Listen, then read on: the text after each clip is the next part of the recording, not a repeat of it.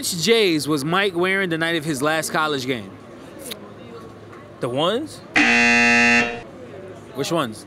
Um, the retro ones. The, I believe the Chicago Bulls ones, right?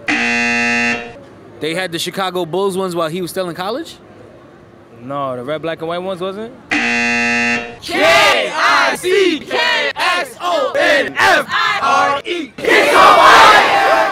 This is a trick question, so pay attention, all right? Which pair of J's was Mike wearing the night of his last college game? Damn, it was the navy blue shirts, right? Which ones? The um Carolina ones. College game? There's no jo- Jordan. It was wearing Converse. The Carolina ones? The ones you're wearing now? Yeah. Converse in college. Had to be the ones. That's that's. I'm assuming it's the ones.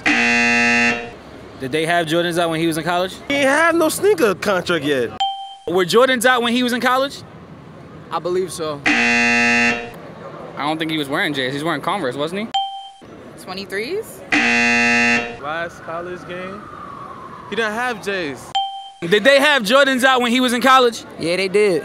Yeah, he wasn't wearing them. He was wearing Adidas. 84s. He wasn't wearing no J's. The Lovins. What about you? Ah, the ones. Ones? Yeah. You better than him, I'll tell you that much. Ah, nice. His last college game, he didn't have Jordans yet. He was in college. 13s. 11th.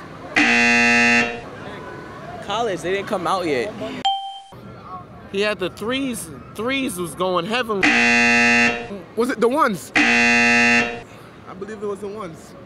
I believe Jordans didn't exist when he was in college.